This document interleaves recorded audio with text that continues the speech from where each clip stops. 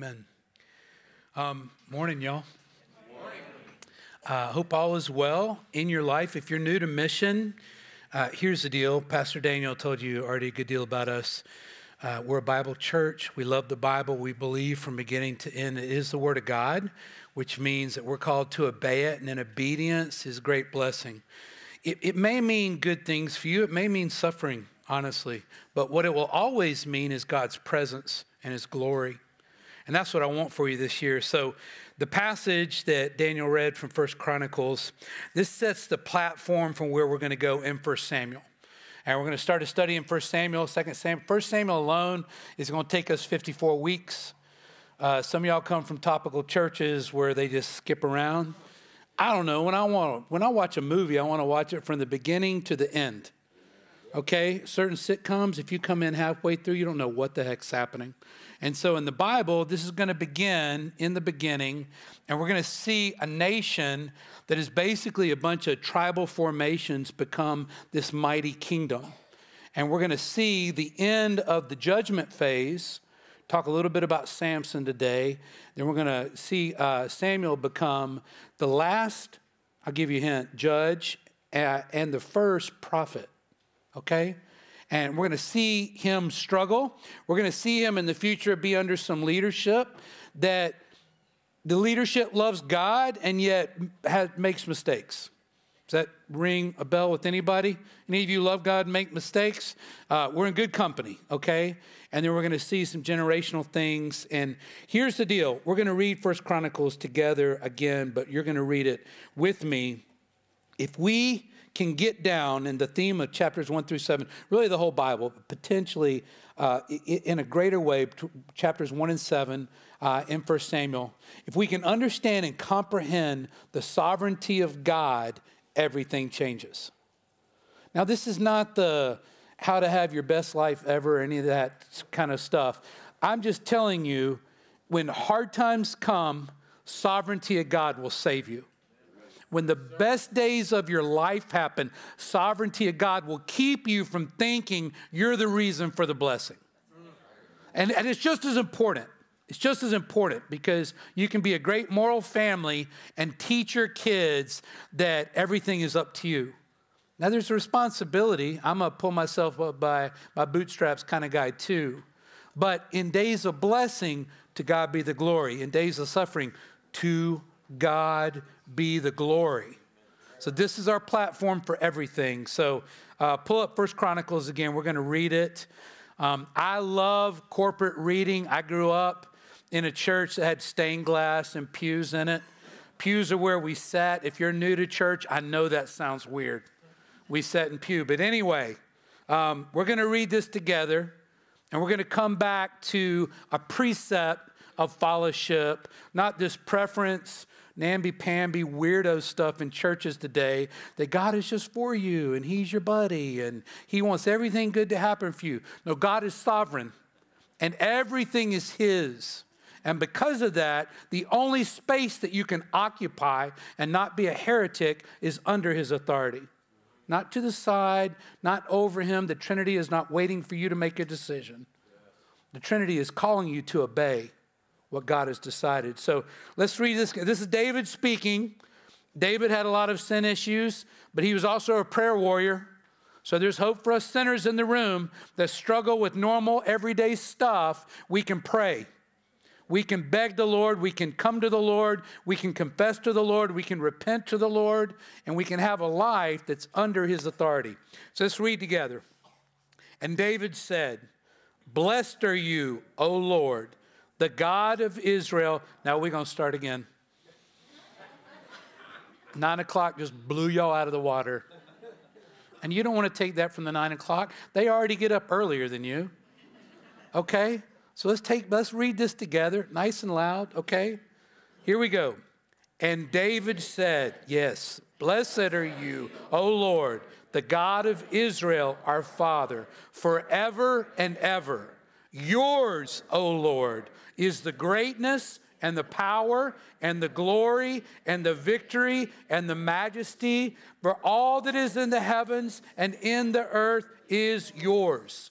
Yours is the kingdom, O Lord, and you are exalted as head above all. Both riches and honor come from you, and you rule over all. In your hand are power and might, and in your hand it is to make great and to give strength to all. And now we thank you, our God, and praise your glorious name. We thank you, O God for all that you have given us. We thank you, O God, for whatever you've taken from us. We thank you, O God, for the best days. And we, we need you and we love you, O God, in the hardest days. All greatness, all power, glory, victory, majesty, kingdoms, riches, honor, rule, strength, gratitude, and praise all are God's. Secondarily, they may be yours. Primarily, they are His. He is the owner. There's no room in there for you. So, we're going to see in this nation in transition in Israel that begins with Samuel, uh, begins with this, these first few chapters we're going to see the end of Judges, last one Samuel, the beginning of the prophets, first one Samuel. And the key theme in those seven chapters is this. And this is not, by the way, how you build a giant church saying verses like this, but it is how you obey what Scripture says. Here's what it says The one and only sovereign God does not serve us, we serve him. We serve him. Blessed be the name. Lord, I don't know what you're going to do with this person. Blessed be the name. Lord, I don't, we don't know how to pay the bill tomorrow. Blessed be your name. Lord, we have more than we've ever had before. Blessed be your name. Yours, Lord, not mine. Yours. All right, so we better go ahead and get the sermon started. It's 22 minutes. Okay, let me pray. Uh, Christians, ask the Lord right now to give you an aha moment from the Word of God. You may have read it a lot. I get it. Don't be the I know Christian, be the teach me Christian. Okay? Let's learn. Uh, Lord, uh, speak as only you can. Holy Spirit, fill up this room with your presence. Uh, Lord, we ask conviction of souls today. I pray right now for those that don't know you and that are here, they, they are welcome to be here, Lord. We, we have no fingers pointed at them at all. Uh, Lord, give us the honor of sharing with them the glory in you we've seen. Give us the honor, Lord, of sharing the riches you've given us for them. Uh, teach us, Lord. Open our eyes, open our hearts. Lord, I lift up Christians right now. Some of them, some of us are crusty and hard and callous. Knock us to the ground, Lord. Open our eyes that we might see. Put us in a formation of prayer on the floor that we might recognize that you alone are Lord of heaven and earth. And you have loved us through your Son Jesus. You have given us opportunity to receive from you salvation that can never be removed away in accordance with Old Testament and New Testament scripture. We love you, Lord. And all God's people said, Amen. Here we go. 1 Samuel Verse 1 There was a man from Ramathaim Zophim in the hill country of Ephraim. His name was Elkanah, son of Jeroham, son of Elihu, son of Tohu, son of Zoph, an Ephraimite. Um, ladies that are pregnant, there's some names for you. Love to see little baby Zuph running around, little Tohu. He had two wives, the first name Hannah and the second uh, Peninnah. Peninnah had children, but Hannah was childless. Elkanah. Who is this guy? Now, there's some similarities between Elkanah and a man named Manoah. Do you know whose father Manoah was? Samson. Now, those of y'all that are churchies, that means you were raised in the church. Raise your hand if you're a churchy. You remember the story of Samson? He had really dark hair and he was very white for some reason in the stories I read. He was a Nazarene, a Nazarite. He never cut his hair, was not supposed to cut his hair, didn't drink alcohol, and he was set, a, set apart from God. Samuel was also called to be a Nazarite, okay? So here, if you read, pull up my little graph. I'm a graph guy, those of y'all that are new. I love to do this stuff. If you don't like it, I'm sorry. It's going to happen more. Um, Judges 13, 2 through 5 is the beginning of Samson. he was a judge that happened about 80 years before Samuel did, okay? Um, somewhere in that regard. And um, he, he, Samson came to the power of a judge around, uh, around 20, 25 years old. So here's how the scripture begins, how they're similar. There was a certain man, that's how Judges opens up. First Samuel, there's a certain man named Elkanah, named Manoah, name of hometown, Zorah, name of hometown for Samuel, uh, Ramah, Ramathaim. Now, where I come from in North Carolina, super hillbilly, super country, okay, dogs in the back of trucks, a lot of overalls. That's all I'm going to say. Okay, now where I come from, when people ask you, where are you from? I said this all the way to where I got to Texas. Then I stopped after people laughed at me. They're like, uh, in North Carolina, where are you from? I'm from Haywood County. You would identify your people group of where you came from. And I got to Texas and somebody said, Where are you from? And I named my county and they're like, Man, you are from the country, aren't you? Like, why'd you tell me that? Okay? Where you're from tells a lot about who you are. Okay? So, um, Samson comes from the tribe of Dan, warlike tribe. Samuel comes from the tribe of Levi, Levitical, the priestly tribe. Okay? Um, Manoah's wife was childless, couldn't have a baby. Samuel's wife, I mean, Elkanah's wife was childless, couldn't have a baby. Both their sons were called to be Nazarites. Now, why is this important? It's the beginning of, of theme of God's sovereignty in this book. That he does not owe you an explanation for why he decides to do certain things. He doesn't owe you a reason for why you're called to obey. What you owe him is, yes, Lord. And I, I know it's harder than it, it, sounds, definitely harder in my life. Um, his plan, not your plan. Our life as believers must be what is your plan, oh God? Not this is my plan, bless me, oh God. The second one is not it. The first one is your will be done. Verse 3 This man, Elkanah, would go up from his town every year to worship and to sacrifice to the Lord of armies, which is one of my favorite names of God in Scripture, the Lord of armies. In other scriptures, it says the Lord of angel armies.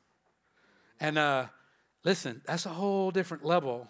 So, for those y'all that are new to the church, an angel is not a precious moments character, little, little seven year old boy. It's a mighty being that is more powerful than you and hundreds of thousands of people, fully armed. He is smarter than you. He is theologically more sound than you. And he lives and breathes to worship his king. He's ready all the time. Lord, your will be done, your will be done, your will be done. Angels are an example. They're not to be worshiped, but this is uh, this sacrifice to the Lord of armies, which at that time they didn't even know was Jesus. At Shiloh, where Eli's two sons, Hophni and Phineas, now those of you that are pregnant, do not use these two names. Not really, not really good. You'll see later in the story where the Lord's priests. They lived in Ramathaim Zophim travel to Shiloh, pull up the map. I'm a map guy too. I got to see what we're talking about here. Now, this is a portion of Israel. Israel, I think, when we see the news, it's just some flat wasteland. It's actually beautiful and mountainous. Okay, so when you see the green, that's the lower down plains. And then when you see it begins to change, kind of greenish to light brown, that's higher up in the mountains. So where Ramah is right there, about 12 miles east is Shiloh, where they went to offer sacrifices and to feast. 12 miles. Now, that for you and I, depending on how fast you drive, is 10 to 15 minutes. For them, it was two days. Two days of walking with children, okay, to get to that space. They did this a couple times of year uh, of the year. Higher up in the mountains, it was all uphill on the way there and all downhill on the way back. Verse 4 Whenever Elkanah offered a sacrifice, he always gave portions of the meat to his wife Peninnah and to each of her sons and daughters. Sons, plural, daughters, plural. So at least they had four kids, at least. Okay? Hannah had zero, the other wife had at least four.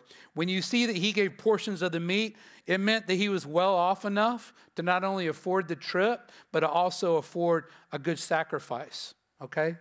Uh, well off man, two wives, multiple children, able to give generously to the temple. Very good. Verse 5 But he gave a double portion to Hannah, for he loved her even though the Lord had kept her from conceiving. Now, the Lord had kept her from conceiving. We'll come back to that, but I want to talk about the first part here. Hannah was his favorite. And let me just tell you, church, when you play favorites, trouble ensues. When you play favorites, really in almost any medium, what we see, and I can send you an abundant amount of verses if you want them this week, about God looking at us and not saying, well, you do this and you do that, so I like you more. He looks straight at our heart. He's interested in who we are. He loves us with an everlasting love, and He responds to who we are in our heart, not in what we have on the outside. Um, give you a few examples of favoritism in the Bible. We'll just go with the, with the big ones. Abraham with Isaac and Ishmael. Ishmael born first, 10, 15 years behind Isaac. Ishmael was called uh, the, the child of the flesh, and, and, and Isaac was called child of the covenant. Uh, there's a preference there, okay? Passed it on to their son Isaac with Jacob and Esau. Uh, definitely issues, problems. What came about in that favoritism anger, almost violence, almost murder. And then uh, the end one, Jacob with Joseph and his brothers. Jacob was very clear that he loved Joseph, one of the youngest, at that time, the youngest, more than the others. He's open about it. Remember, he gave him a coat of, thank you, thank you, churches, right? Yeah, a just multiple colored coat. Joseph was the one that came back to his brother and said, Hey, y'all had a dream. All y'all gonna worship me one day. Have a good one. Okay? The brothers hated him, and at the end, they tried to murder him. His life was barely saved. He was put into slavery. Uh, and in the end, what he dreamed came true. That's another story. Now, this word favoritism, this is the word, uh, yeah, in Hebrew, uh, prosopolepsia, which sounds like it should come with a prescription. Amen? How you doing, bro? I got some prosopolepsia. Ooh, I'm sorry. Let's pray, pray for you in discipleship group. Um, here's, here's what it means. It means that you have a preference based on outward appearance. That sound familiar yet? Social ranking, talent, capacity, and abilities. Um, which means this is prejudice, is what it is. Parents, you got to be careful in your homes right now because if you have if you have more than one kid, you'll notice that they have different personalities. Amen? Amen? They're different. And so you're looking at one going, this one right here, he's just like me. He sounds like me. He does what I do. The other one doesn't know where his shoes are. Like, I'm a little bit of favoritism there. Uh, it's dangerous because what happens with favoritism is there begins to be animosity and anger. And some of you are on the negative end of that. Um, it's not only prejudice, it's discrimination. I mean, this is what people groups do. You're a different color. I don't like your outside. I don't like who you are. You're a different political affiliation, therefore, I don't really have to love you because I'm a Christian and the Christians only vote this way. Uh, you, you don't have as much as I do, and your, really, your life is kind of icky, and I'm not sure what to say, or you've done some horrible things. Therefore, I don't have to love you based on where you've been. It's favoritism. Um, this is why porn is a killer for men or for women. It's a comparative evil sin. You're looking at multiple people and you're putting together this conglomerate of what you think is the perfect person, and your spouse can never live up to that person. This is why emotional ties with the opposite sex outside of your marriage is not a good thing. Comparisons will kill you. Well, you know, he, he listens to me. Well, you know, she laughs at all my jokes well, you know, they do this, they do that, my spouse doesn't. And you, you, have, you have dropped your, your, your process of looking to the Lord, your one in sovereign control over your life, into people that cannot help your placement. It's like a addiction. We discriminate against ourselves with comparison to others instead of a focus on Christ and his call over our lives. This is why understanding sovereignty of God is a mature action. It's not for children in the faith, it's for adults. So, believer, if you are a mature believer, where are you in terms of your comprehension and your, your belief in God's sovereignty? Verse 6 her rival, Hannah's rival, Peninnah, would taunt her severely just to provoke her. Anybody ever been taunted? It's just horrible. Being called names, maybe, in front of other people. Elementary school is a horrible place where that happens. Uh, so is high school, so is college. By the way, those y'all that are that age, so is your 30s, your 40s, your 50s. People just do it more secretively, okay? It's called gossip. Um, it's the same thing. Um, she would be taunted just to provoke her. Here's where, if you look at verse 5, the Lord had kept her from conceiving. Then Samuel, who potentially was the predominant writer of the first part of 1 Samuel, writes about his mother, talking about himself, right? Because the Lord had kept Hannah from conceiving. So, who kept Hannah from having a baby? God did. Okay. So, if you have been blessed, it's nothing you have accomplished yourself, it is a gift from God. It's a gift from God. Hardships can be brought on through bad choices. We know that from Scripture. Reap what you sow. We understand these principles. But what about this situation? Had she done anything not to have conceived? Um, in this day, lack of conception was solely the issue of the woman. It was her fault. It obviously, wasn't Elkanah's fault. We know now, modern biology, it can be the man or the woman that, that keeps a couple from conceiving. Uh, why did God keep her from having a baby? We don't know. Here's the deal sometimes you're not going to know. And as an adult, you have to realize I'm asking the Lord for the answer, and He's not told me. He's still God. And I need to bring myself into that space. I was talking to two of my friends before service, way smarter than me. Honestly, they're way smarter than most of y'all. And they they're just different level. Do you have intelligence friends? Maybe you're that person. There is a giant blessing of intelligence, right? You know things other people don't. There's a giant downside to be intelligent too. You question everything, even when the answer's right there. And that's where simple folk have one up on you. Simple folk are able to go, this is the situation. Okay. And the intelligence person, I don't know, I need to whiteboard this for about five years. And then we'll figure out nine different things to do, discount those, and come up with another list. Okay? There's a simplicity here. Okay? Her rival would taunt her because the Lord had kept Hannah from conceiving. We don't know. John 1, 9, 1 through 3. I'll read this verse to you um, may help you. It's one of my favorite. Uh, Jesus is, this blind man approaches Jesus. Here's what happens. As he was passing by, Jesus passing by, he saw a man blind from birth. His disciples asked him, Rabbi, Rabboni, who sinned, this man or his parents, that he was born blind? It was common knowledge, or so they thought at that moment, that if you had a handicapped child, you had done something wrong. If you had a blind child, somebody that had issue with leg problem, skin, hair, whatever, you've done something wrong. If something happened to an individual, some type of maiming or crippling, you did something wrong. So you became kind of castigated in your community because obviously this little blind boy, parents had done something wrong. So disciples are just asking him, uh, who sinned, this man or his parents? He was born blind. Verse 3 Neither this man nor his parents sinned. Jesus answered, in terms of the blindness. Like obviously they were sinners, like you and me. This came about so that God's works might be displayed in him. Now, he saw a grown man that was blind. That's what history records. He wasn't like blind for a little bit and gained his sight back. He was blind since a child, which means that he couldn't go into the temple. Uh, potentially, he wasn't married. Potentially, he couldn't earn a good wage. Why had God allowed that type of travesty to happen to a child? So that God's works might be displayed in him. Blind from birth. Did the baby deserve this? No, but I don't think I don't think the Trinity was waiting for the family to decide that. God's works might be displayed in him. We must follow this to its natural conclusion, though.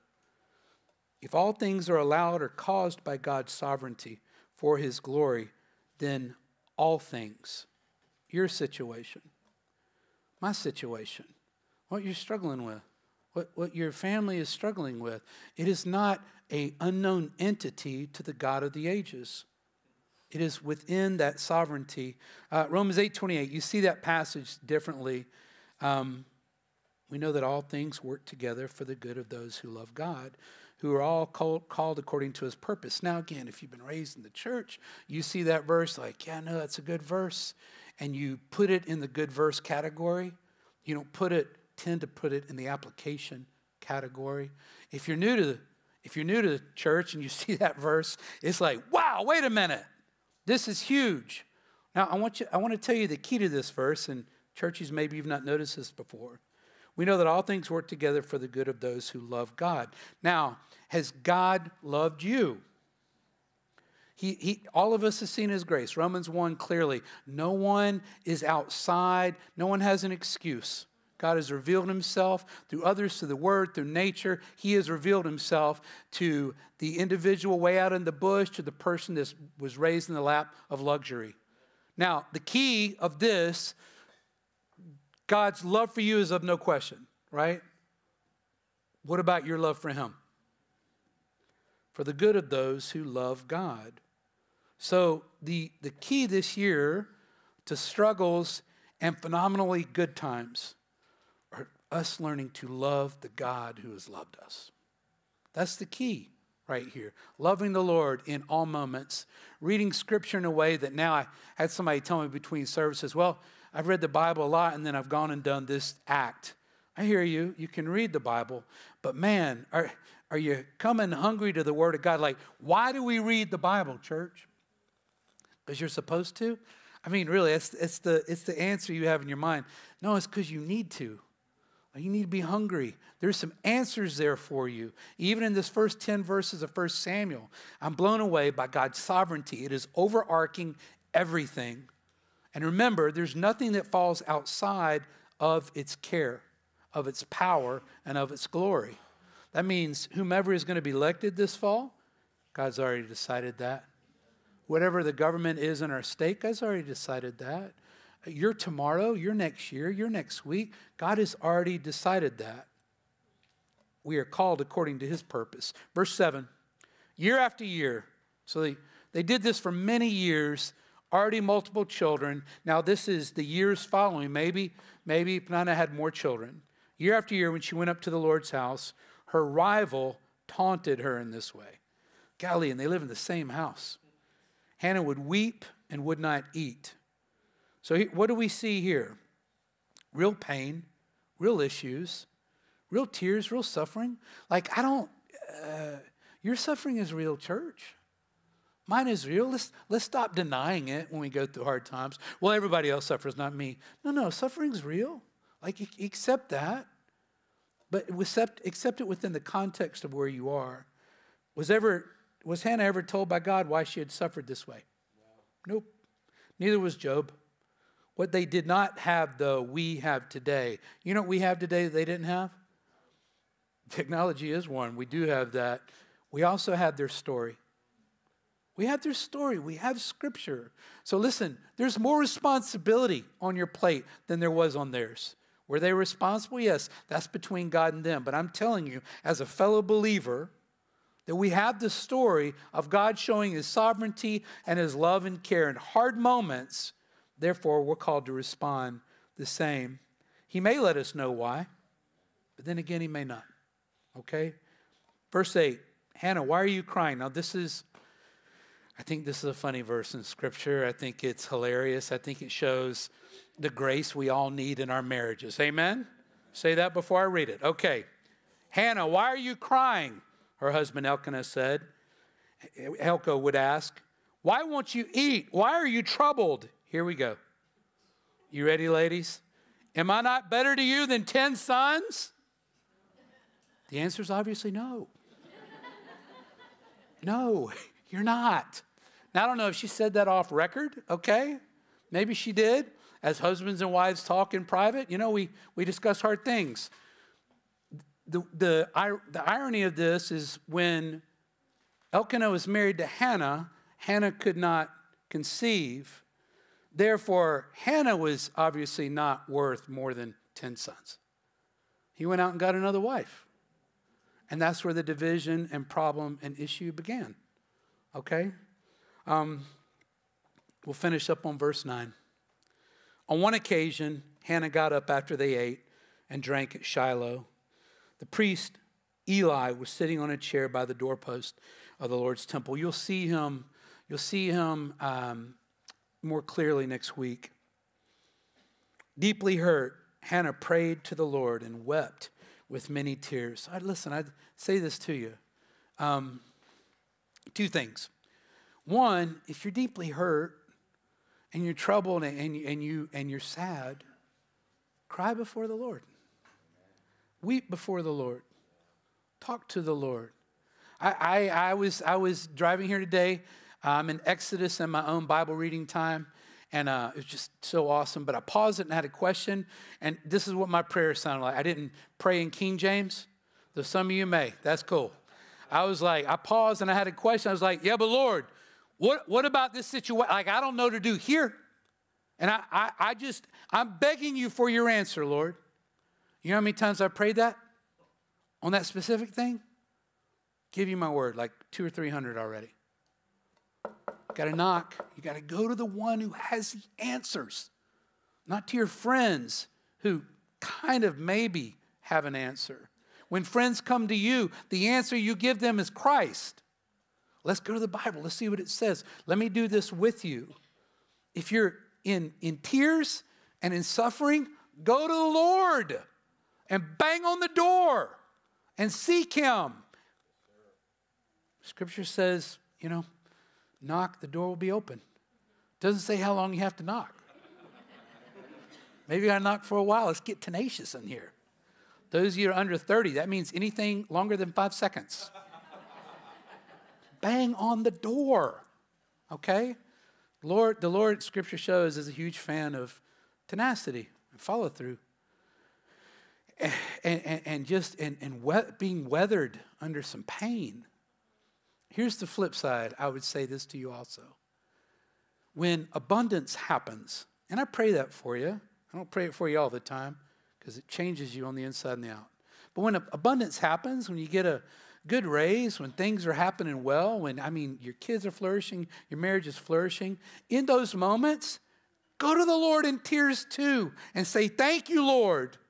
This is all because of you. This is all because of you. And I love you because of it. And I know that you give and that you take away, but blessed be your name, Lord. And as the body, we're strengthened when we do this together. You're not the only one that has a problem. You're not the only one that's being blessed right now. You're not, you're not the only one that's praying and not received an answer yet. You're not the only one who's prayed and answers have been given. Let's share. Let's connect. Let's do these things all for the glory of God. We have uh, we had a baptism this morning after nine, which is super cool. Uh, young Haitian man, his, his mother was baptized last week. Uh, we, we, we baptized Chadley this morning at the, at the nine. And now we have another baptism. Looking forward to that. So let's pray. We'll do communion. Um, come down the center aisle. Communion team, come on up. Come down the center aisle. Receive the bread, which represents Christ's body, lived for you, broken for you. Receive the juice, which symbolizes his blood shed for you, that you might come to the Father through the Son and receive forgiveness and be loved. And now you can love him in return and begin a mature relationship with God, not a childlike relationship, not knowing, but being, being an adult, eating meat, responding to the Lord. When you're ready, church, come on down front. If you're not a believer, stay in your seat. Communion is for believers only. If you need a minute or two to pray and confess sin and repent, just ask God for help. Do that, and then come down front. Amen.